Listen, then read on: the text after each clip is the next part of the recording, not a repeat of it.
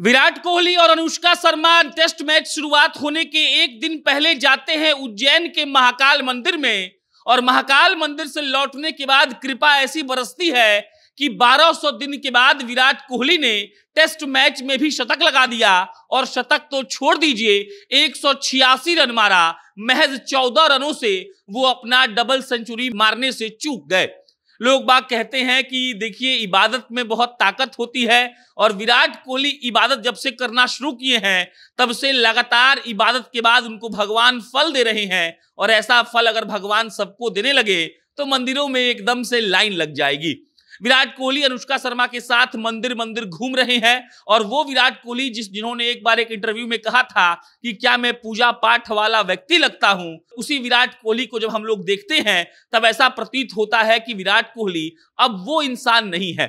वो बदला व्यक्ति अब मंदिर मंदिर जाकर अपना मत्था टेकता है और अगले दिन जब इंडिया और ऑस्ट्रेलिया का टेस्ट मैच होता है, तब वो आदमी एक सौ छियासी रनों की पारी खेलकर इस बात का संदेश दे देता है कि देखो भाई साहब, इबादत में ताकत तो होती है।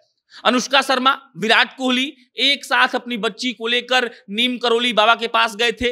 इसके बाद कई अन्य मंदिर में गए थे और उसके बाद इंडिया, ऑस्ट्रेलिया के टेस्ट मैच के शुरू होने से पहले विराट कोहली जाते हैं इंदौर के महाकाल मंदिर में दर्शन करने के लिए।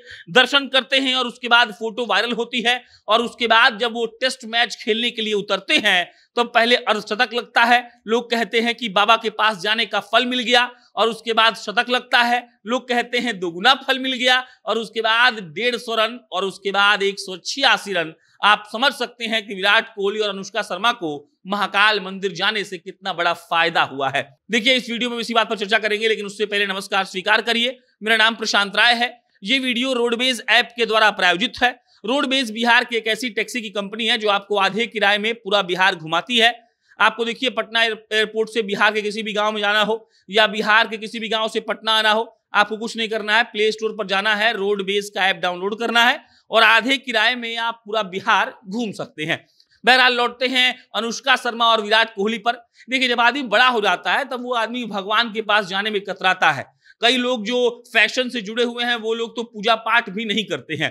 विराट कोहली ने भी एक वक्त ऐसा ही कुछ कहा था। लेकिन देखिए, विराट कोहली दो साल आउट ऑफ़ फॉर्म रहते हैं। उसके, उनके बल्ले से एक भी शतक नहीं निकलता है और उसके बाद उनको कोई इस बात का शायद सुझाव देता है कि आप जाइए, भगवान के दरबार में मत्था टेकिए और आपको दिखेगा बदलाव क्या होता है। विराट कोहली, जो ओडीआई और टी ट्वेंटी और टेस्ट मैचेस में शतक के लिए तरस रहे थे अलग अलग तरीके से आउट हो जा रहे थे, वो विराट कोहली जिनसे गेंदबाज खौफ खाते हैं, वो अच्छे से नहीं खेल पा रहे थे, और आज उसी विराट कोहली को देख लीजिए, अलग ही अंदाज में बैटिंग कर रहे हैं, और इस बार बार तो करिश्मा हो गया।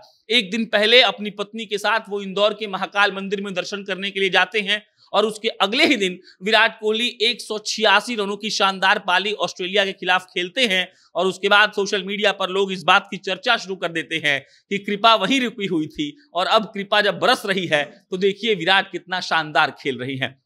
विराट जैसा खिलाड़ी जब अच्छा प्रदर्शन करता है तो भारत के लोग खुश होते हैं। इसीलिए क्योंकि वो प्रदर्शन होता है भारत के पक्ष में और भारत मैच जीतता है। विराट कोहली को बहुत बधाई और बहुत बधाई उन सारे खिलाड़ियों को जो अपने संस्कार और अपने संस्कृति को ज़िंदा रखे हुए हैं। बाकी कोई अपडेट आएगा तो आपको मितला करेंगे। मेरा नाम प्रशांत राय है। बहुत बहुत धन्यवाद।